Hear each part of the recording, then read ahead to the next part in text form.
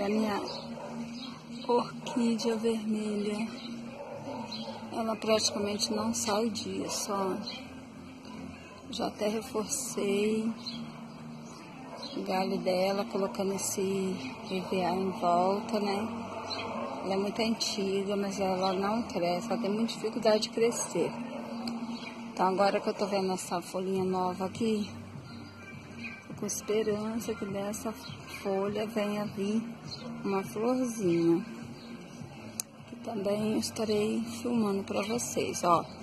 Tenho aqui, ó, uma maçã vermelha, ó. E ela é roxinha, mas é um roxo avermelhado. Tá vendo? Que são as folhas velhas dela. Né? E aqui eu acho também que ela é uma espécie menorzinha. Aqui embaixo tem uma outra, ó. Essa aqui já deu várias flores.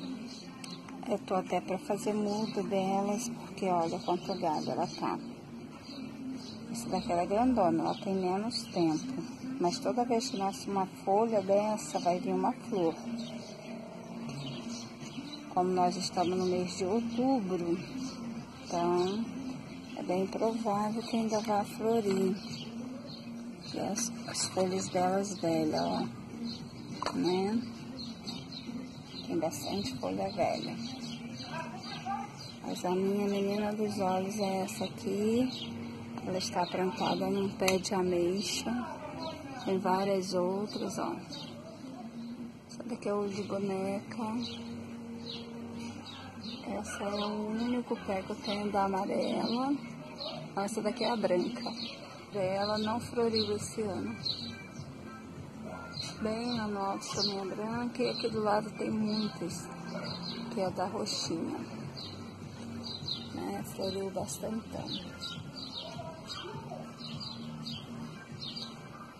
Então,